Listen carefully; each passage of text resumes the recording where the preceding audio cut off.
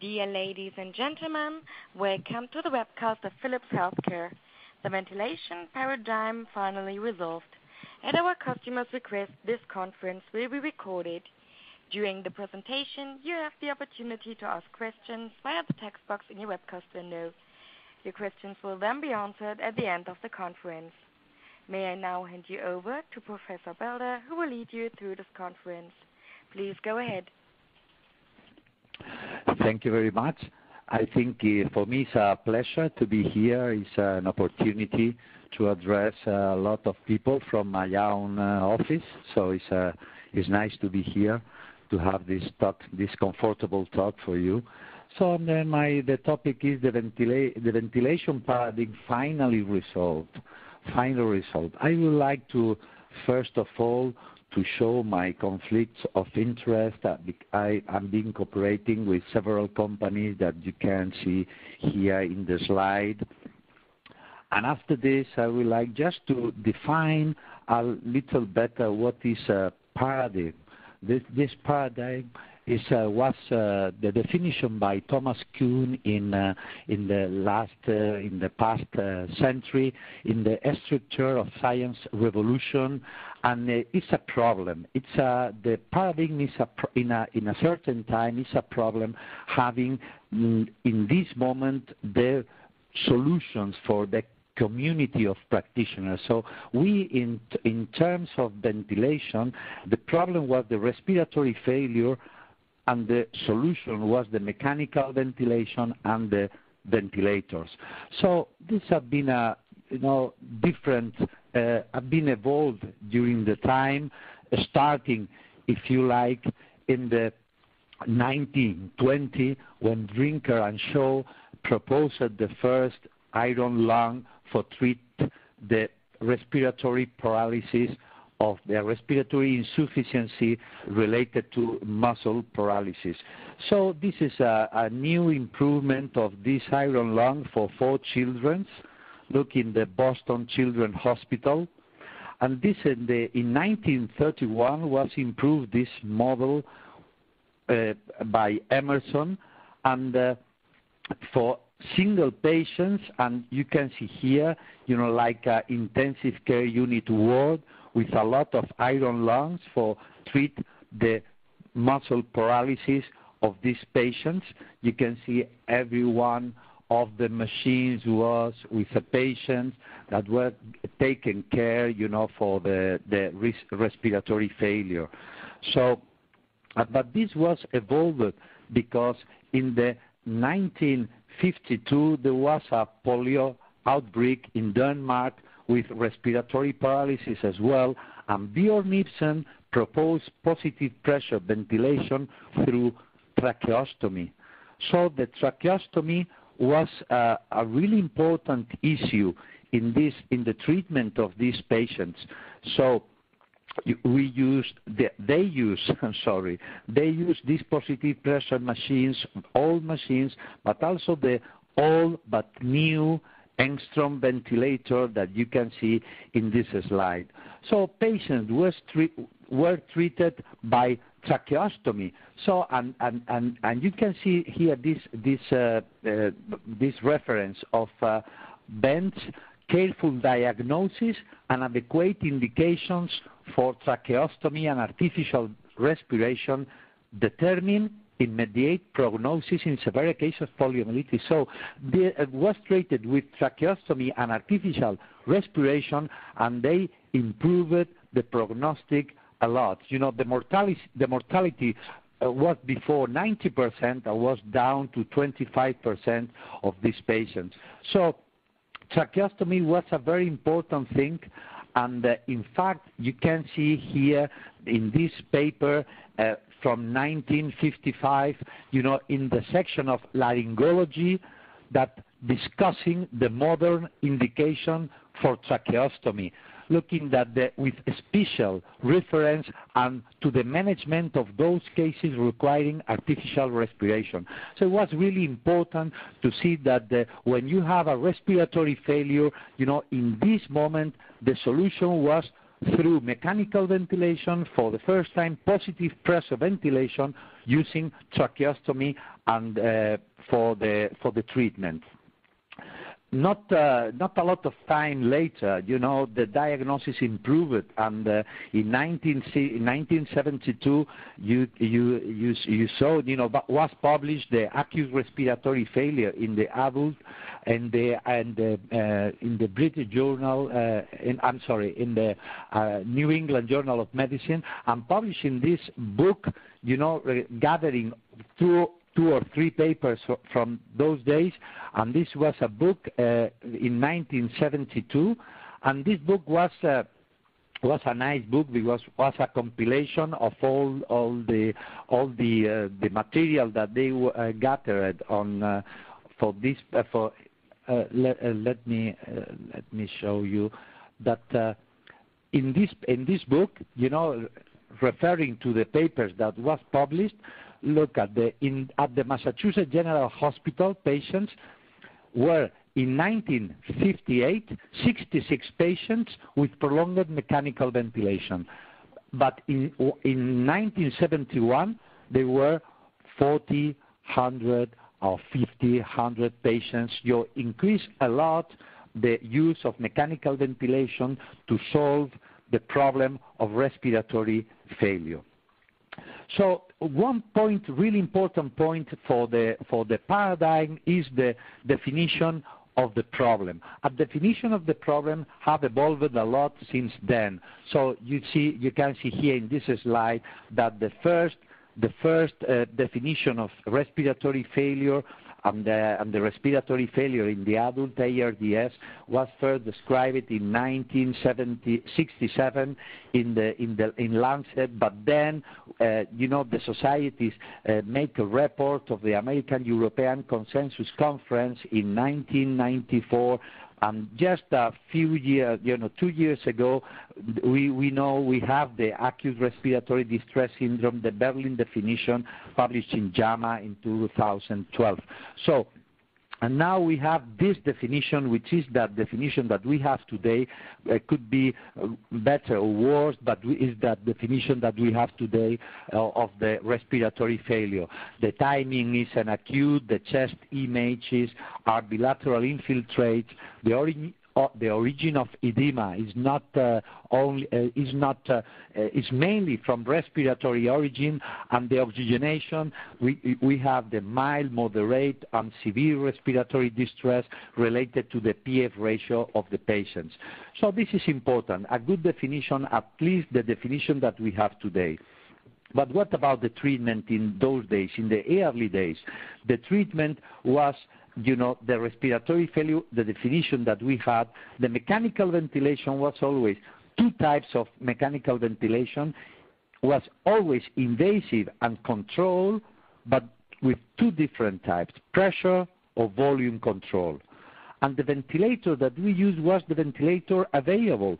You know that uh, I, I, was, you know, re referring to the Engstrom ventilator that you can see in the left side and in the right side was the model image of the new Engstrom ventilator. So the same machine, a little better, but the, that was the ventilator that we had in the 70s. It was the volume ventilator, volume control ventilator.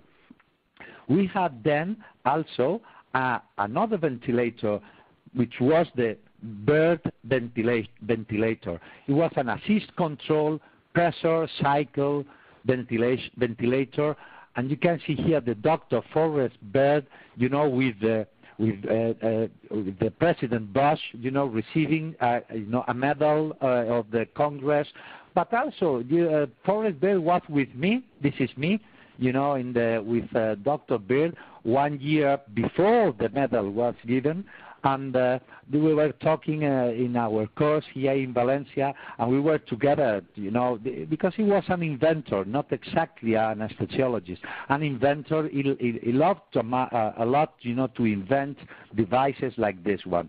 But I would like to stress that this, the, I mean, the Bird ventilator was the first ventilator you know, uh, with uh, trigger sensitivity. You, you could adjust the sensitivity of the trigger because this was an assist control ventilator, and the, and, uh, and the, the, ventilation was assisted, and you could uh, you know, change the sensitivity of the trigger. Two or three more milestones in the treatment of the respiratory distress. You know, for example, this one in which the, the uh, you know, the PEEP was defined, the adult respiratory distress syndrome, you know, principle of management. You know, the, uh, in, this paper, you know, the PEEP was the, defined and, uh, and was a very big uh, step to uh, improve the treatment of these patients. Also, this other one in which uh, we started to apply this positive pressure continuously in the airway without tracheal intubation and was the, you know the CPAP system starting to be applied for the respiratory failure patient and starting to improve the prognosis. So uh, first and really important you know that respiratory failure we have a definition mechanical ventilation then was invasive pressure or volume, and the ventilator was available. To have a ventilator available is really important. You know, it, it, maybe you don't uh, realize how important it is, but uh, if you look some pu to publications from uh, today, like this one, need for ventilators in the developing world, an opportunity to improve care and save lives. So you have to you have to realize, and I would like to point out that the, maybe today, in the similar to Copenhagen in 1953, in the present day, the provision of ventilators to developing countries has the unique potential to reduce mortality one of the world's most vulnerable patients. So it's important to realize that maybe we live in a, in a you know, not uh, already uh, developed country, but there is still place for uh, any ventilator to be applied in a developing countries to reduce mortality a lot of, of the patients uh, suffering from respiratory failure. For example, this is a paper, you know, that uh, review the Thailand mechanical ventilators in the study. And you see here that in Thailand there is only 2,000 mechanical ventilators. And you can imagine that maybe there is not enough ventilators for everyone. But even in our days, in our countries, I would like to show you that even today, you know, when we had the pandemic influenza, uh, uh, you know, two years ago, you know, we, we had to choose the patients to have ventilators available even in always the, I mean already developed countries. So this is a paper from the from the Australian people, you know, telling that uh, the criteria to supplement critical care for the allocation of ventilators during a pandemic influenza. So it's important to realize that even if you have ventilators to treat patients with uh, respiratory failure, maybe these ventilators, in a case of a, a, a pandemic, maybe are not enough, and you need protocols to improve the triage of, the, of these patients and to apply the best ventilation, the best ventilator. So let's move ahead and just to, I would like to show you a nice paper from uh, from uh, Bob Kacmarek, a nice uh, man, you know, from uh, Boston, and showing the uh, uh, the mechanical ventilation, what's the past, the present, and the future.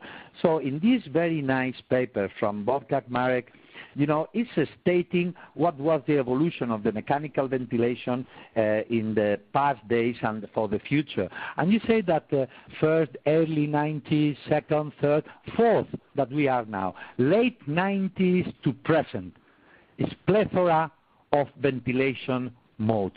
So what we have today or up to date is a plethora of ventilator modes.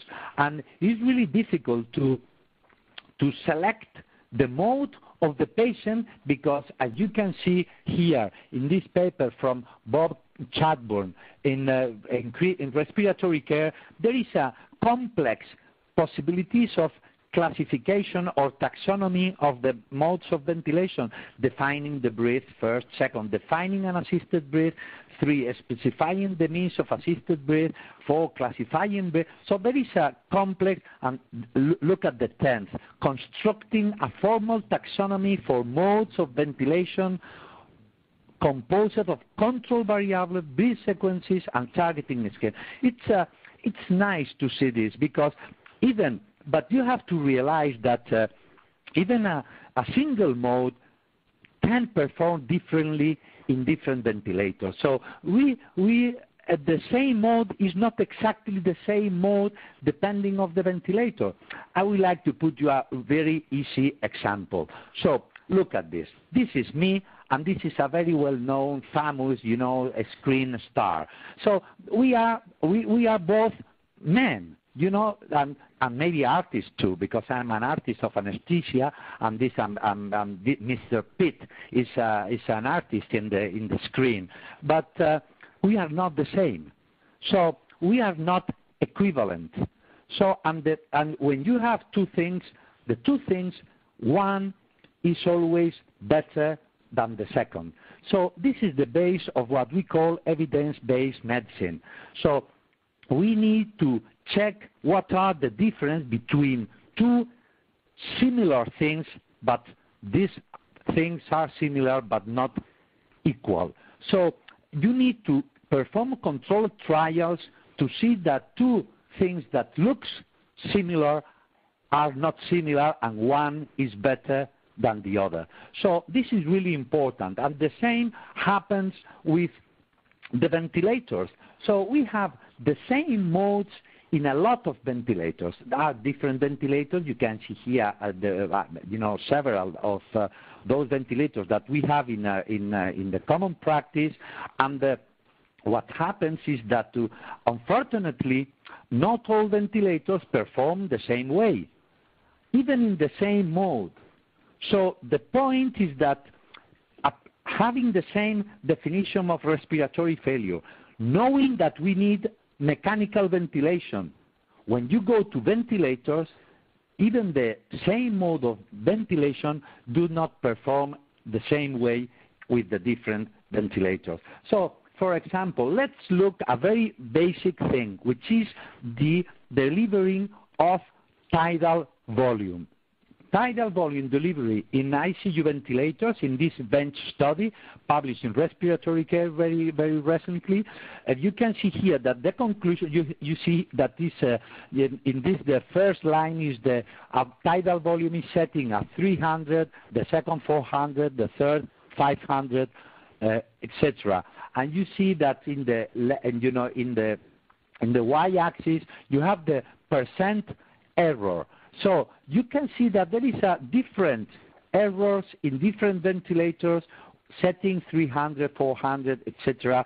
milliliters. So the conclusion of this paper is that in BTPS, in body temperature pressure I mean, uh, status, the condition, the volume error differs substantially across ICU ventilator for tidal volume delivery, which is a basic thing. When you set in your own ventilation 400, you have to know exactly what is the error that your ventilator has. As you can see, the error are di really different for the EVIA, the Engstrom Care Station, Evita, Evita XL, Puritan, etc.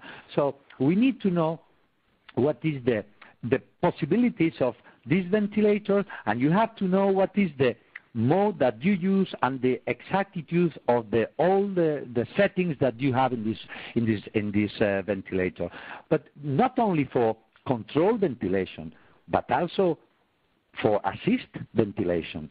So there are, you know, very a lot of papers telling that the assist and supported breaths, they are, I mean, must interact with the patient demands, must interact. So it's a must that the ventilator must follow the patient because asynchrony with patient and ventilator promote muscle overload and fatigue, discomfort, and increase the sedation needs, which uh, which uh, which is really bad, you know, and uh, you know you have to your patient more days on ventilator, or uh, you know the, the the prognostic is not is is less less good, you know. Let's see now in the new generation of of the turbine in the in ventilator. You know, now we have applied the, the, the, the, the turbines that we have in our planes to our ventilator. So uh, now we have uh, several modes of turbines which are inserted in the mechanical ventilators. These uh, turbines uh, have been analyzed in a, a, lot of papers. Look at this one. This is a, a bench study of intensive care unit ventilators comparing new ventilators versus old ventilators and also turbine ventilation versus compressed gas-based ventilator. So, and, and, you can see here how is the measure to evaluate this, uh, this ventilator. This is uh, in the left side uh, image, in the you know the red line is when you start to breathe, the pressure is negative, and then when the ventilator start to support the breath, there is going back to zero and then starting a positive pressure indicating that the, the ventilator is supporting you. So we have uh, an, uh, here the, in the right side of the, of, the, of the graphic, we have again these two areas in gray, which are the surface of these areas are proportional to the effort because it's the pressure delivery, the pressure exerted during the time of inspiration. So we have two main factors, what we call inspiratory delay time, which is from the onset of the inspiratory effort to the onset of positive pressure, okay, to, this is the delay time, you know, the delay of the, of the ventilator to support the patient and we call the, and what we call the pressure time product, which is uh, an image of the effort of the patient, which is related to the area, the gray area inside the pressure related to the time. So the pressure time product is the, this gray area. On this, in this uh, paper, the several ventilators were compared, and you can see here the results. This, uh, the upper part of the graph is the inspiratory uh, time delay, and the lower part is the pressure time product. And you can see that there is a very different, you know, uh, uh, values for the different ventilators. Look at uh, if, if we put, you know, a line, for example, at 100 milliseconds, you can see here, for example, the Savina is below 100 milliseconds, but the pressure time product is higher than other ventilators. So when you look at the one ventilator, maybe this is very good in the response time, but this is not that good for the relieving the effort of the patient. So as you can see the, the behavior of the, of the ventilators, the performance is completely different in not only in, in the inspiratory delay time, but also in supporting the effort of the patient. So it was nice to see as a conclusion of this paper that uh, uh, the technical performance vary considerably across new generation ICU ventilators. So they are not the same, you know, even knowing that they were analyzed in pressure support. So the pressure support was the same in every ventilator, but the the, the behavior of the pressure support, the, the, I mean, the characteristic of the pressure support in time, in terms of delay time and pressure time product was completely different. And this is an image looking at the, the I mean, the turbine is uh, the white uh, bar, and the, and the compressed gas uh, ventilator is the black bar. You can see the trigger de delay is always better because it's lower for the turbine when you go to the effort, you know, the compressed gas ventilators supply a better uh, response for the effort, reduce the effort more than the turbine in the analyzed ventilators.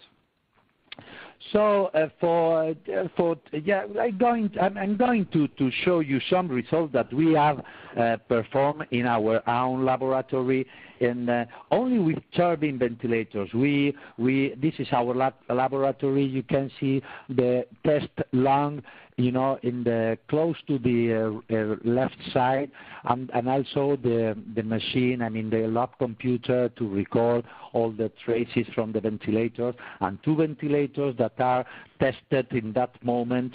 So this is the uh, the setup of the of the experiments, of the bench experiments, and let's show some results. For example, these preliminary results that will be published, you know, in the next next year.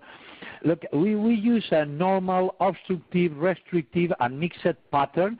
So it's like uh, you ventilate the patient, a normal patient, an obstructive, restrictive, or obstructive plus restrictive patients, and we analyze at first the tidal volume accuracy and you can see that even the V60 from uh, Philips, the Trilogy from Philips, you know, the the accuracy of the tidal volume was quite good, you know, in the in, during the ventilation of all the and different from the Carina, which was also quite good, you know, but completely different. I would like to stress that you have to measure and to know what are the results to choose one ventilator or another when you are using these ventilators at the bedside.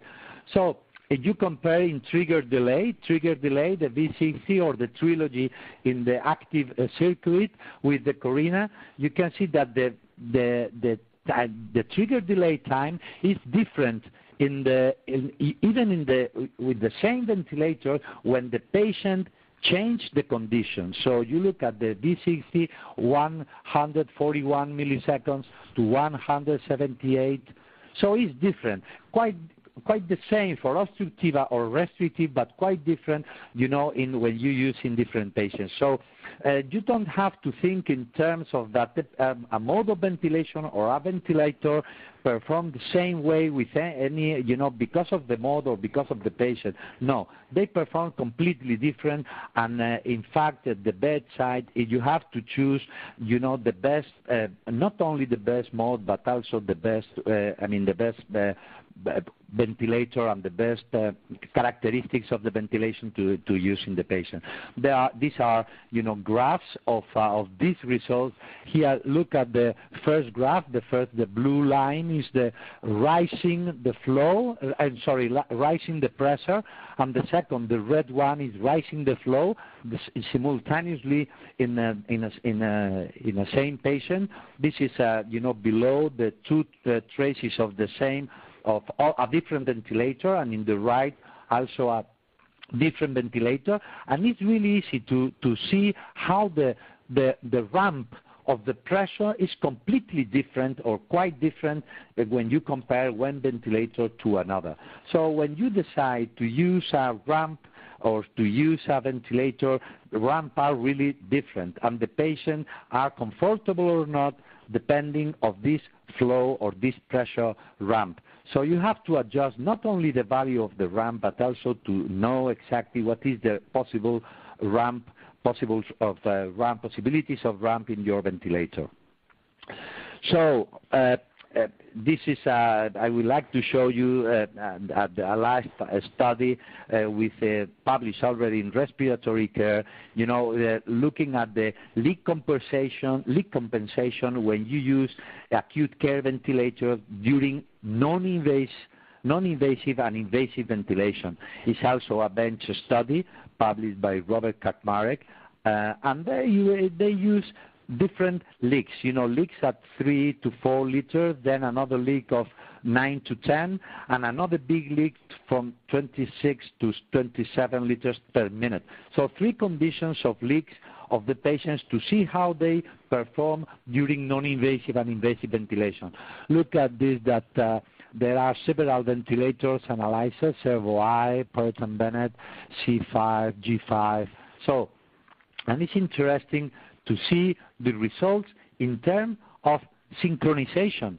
So as you, uh, as you can he, see here, you know, there is a, in, in non-invasive mode, there is a incidence, high incidence of auto-triggering or mis-triggering when you change the leak, you know, there is this, uh, these uh, bars are indicating the incidence of non-triggering efforts and auto-triggering, you know, changing the leaks in the conditions you see in the, in the, in the horizontal axis, you know, changing the leaks from the first to the third, to the second to the third, to the third to the one. So different combinations that anyway, there is a, a non-invasive ventilation, you know, a high incidence of asynchrony uh, when you use uh, these ventilators with leaks.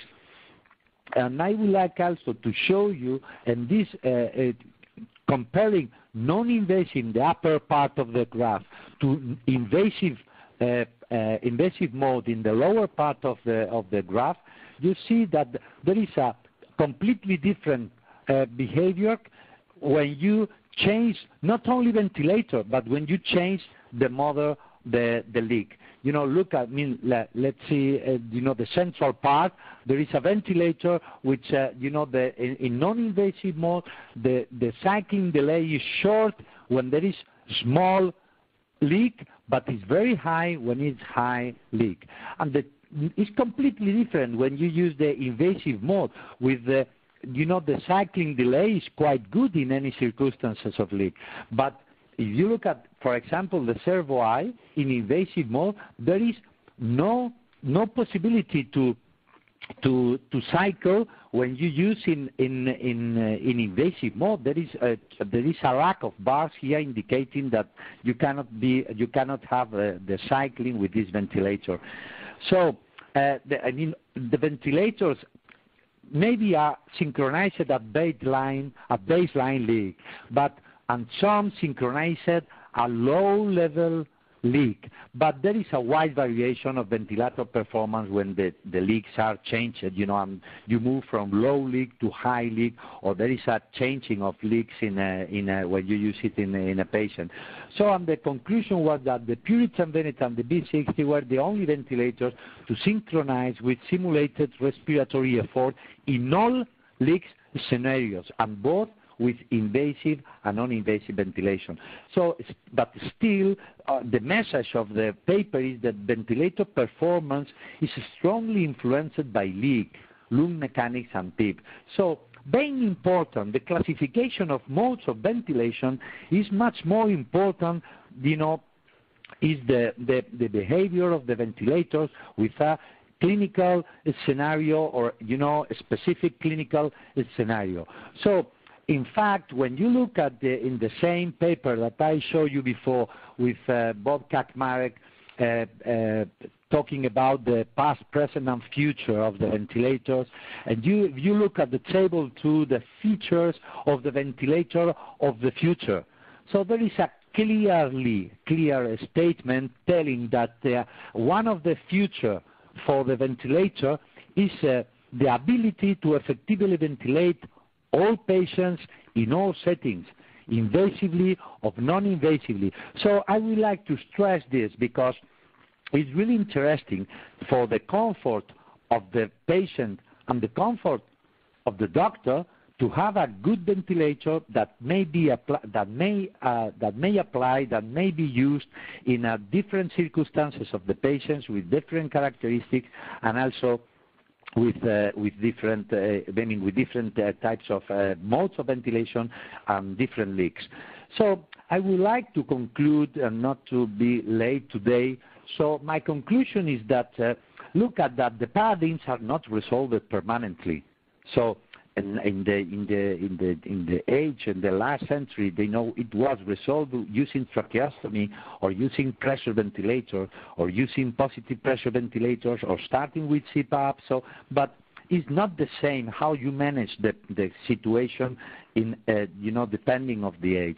So the problems and solutions evolve at different speed. That's uh, clearly, you know, we evolved quite fast with the definition of ARDS, but the solution was not that clear, you know, at that age. So, and solutions is really important. This, you know, solutions may seem identical, but they are not. So uh, it's not only to say you, respiratory failure, mechanical ventilation and ventilator. This is okay. This is, uh, you know, this is how to resolve the paradigm. But how is solved today? Today is the solution for today of this paradigm that we need a uh, real, real accurate diagnosis of acute respiratory failure. You have to make this accurate diagnosis because it's the first, like, the first line of the treatment. Second, apply maybe escalation of the escalation approach. So why not to start with non-invasive ventilation with one ventilator, change to invasive ventilation, and then when you can, if you, you why not to extubate the patients, you know, yearly and apply again non-invasive ventilation to reduce the invasiveness of the procedure. So it's really important to, to, to know that maybe this, the, this escalation, the escalation approach could be really important for your patient. But and, and last but not the least, you know, use the best available ventilator. It's not the same the ventilators that you have at your hand in the, in the, at the bedside. So you have to choose always the best available ventilator if you don't have much, if you just have one ventilator, apply that one. But you have, you can choose between two among three, four, five type of mechanical ventilator. Use the best one and use the most suitable for the patient for the situation. And uh, well, uh, no, nothing else. This is all I wanted to say. Thank you very much for your attention. These are the Beatles. The Beatles is a musical group you know, from my age, you know, I love them a lot, and I would like to sometimes to play guitar with, you know, the songs of the Beatles, and uh, hope you like you like that. Thank you very much. Dear ladies and gentlemen, we will now begin our question and answer session. If you have a question for our speaker, you have the opportunity to ask a question via the text box in your webcast window. One moment, please, for the first question.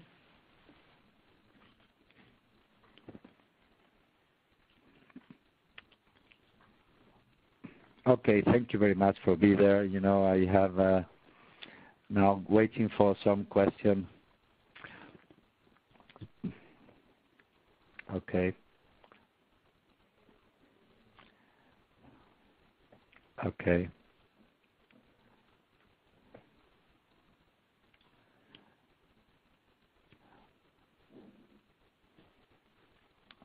Mm-hmm. So there is uh, Estelle Gomes uh, is uh, telling that thanks for the presentation. Is uh, is from South Africa, and uh, it's my it's my pleasure. It's my pleasure. It's been my pleasure to be with you. Thank you very much for staying there.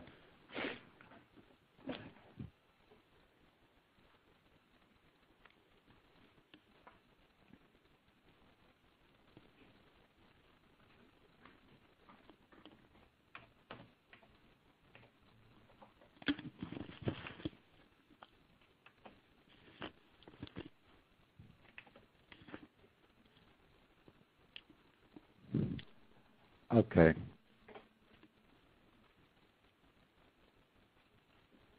Okay. So uh, I have a, a, nice question from uh, from here uh, that uh, asking me how long was the bench study that we conducted. So it's a, it's a nice question because uh, sometimes it takes a lot of time to conduct a study. And uh, I have to tell that it, it took us more than one month, you know, working not every day, but almost every day in the afternoon, know, staying after our uh, clinical uh, clinical anesthesia uh, normal day, and uh, we studied uh, uh, all the turbine ventilators. I have shown only the results of three of them, but we studied all of turbine ventilators be, be, because I think it's really important, and we will publish it. And it's really important to know exactly uh, to know how, uh, what is the performance of the turbines, because I think that clearly, you know, not all turbines perform the same way. So, and it's really important because uh, I mean, the people claim about no, no, this is a very nice, uh, uh, this is a very nice ventilator because this is a turbine. Okay, I agree. You know, turbine can perform very well but not all turbines perform very well. So you have to ask, you know, all the details to see what are the performance of uh, of your turbine ventilators. So it took a lot of time to make this type of bench studies and then to to you know to show what are the more relevant results and uh, and uh, so um, it's, sometimes it's important to know exactly how the results are. Thank you. Uh, there is here another question that telling me that asking me if it is important to have a device that works invasive and non-invasive. So it's more important for doctors or for nurses. Okay, well, when you are uh, working uh, at, the bedside, you you realize, you know, really clearly, you know, and, you know that a ventilator is important to be invasive and non-invasive because you don't have to change the ventilator from one treatment to the other. So it's really important, and also because you know exactly what the ventilator is and what the ventilation a ventilator performs. So if you if you don't change the ventilator, it's really easy to change from one ventilation to another because you don't have to change the machine. And also you know exactly what is the performance of that ventilator. So it's really interesting. From my point of view, it's really easy and you save time and you save effort and you save a lot of things if you if you have a ventilator that can be used in both situations as, as was seen in the in the uh, in, in, in the paper from Bob Kacmarek you know, I can go back to this, uh, that is the ability to effectively ventilate all patients in all settings, invasive and non-invasively, will be one of the features of the of the future. And this is uh, very important. Is uh, maybe some uh, is more important for is, is important for doctors, but also for nurses, because nurse is the first line of the treatment, uh, you know, of, for, for the patient, and the nurses stay, you know, at the bedside during all the day, all the, you know, the duty cycle, you know, and uh, they work there very hardly, and uh, and they have to to to change the ventilator and to change the mode and to think in different terms when they change the ventilator is really tough. So it's, uh, uh, very good for us. I think much uh, a very important issue for for the nurses and respiratory therapists. Thank you very much for the for the for this for this for the question let, uh, uh, let this is a this is a, new question here. Uh, uh, were you able to compare piston-driven ventilators? Uh, uh, yes, but I think that today there is several papers, you know, showing the different the different uh, uh, behavior of the ventilators, the, driven and the piston driven. But uh, anyway, we have to make another study, another you know, using the new piston-driven ventilators. So uh, that will be a nice uh, uh, task for us as well, and we are going to we are going to work in that uh, in that sign. We will publish as soon as we have. Okay, let's uh, let's see more questions. Okay, I think that uh, I think there is no no question. Let's wait a moment. I, I will put you the Beatles slide again.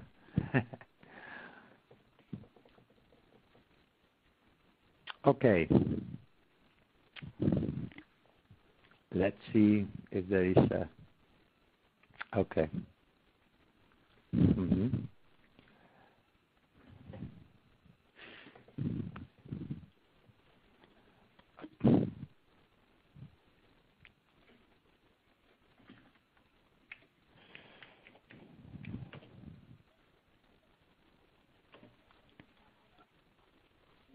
Okay. I think that uh, we can, if you don't have uh, any more questions, that we can finalize right now.